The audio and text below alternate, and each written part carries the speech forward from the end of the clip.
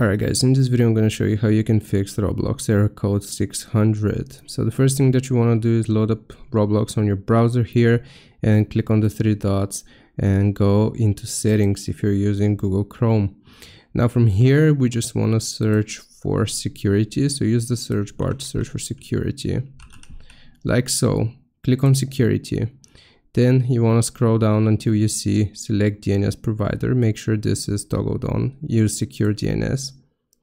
And for the DNS provider, you want to choose Google. So Google public DNS.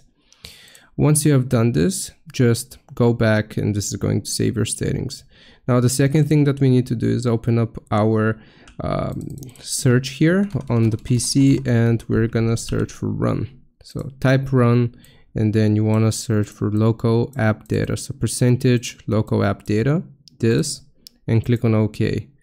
Now from here you want to click on any folder and type t to find temp folder. So click on temp then again you want to click on any folder type r so you find the roblox folder.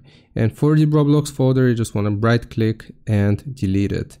And this should fix error 600 in Roblox. I hope this helps you out. Leave a like and sub. I'll see you next time.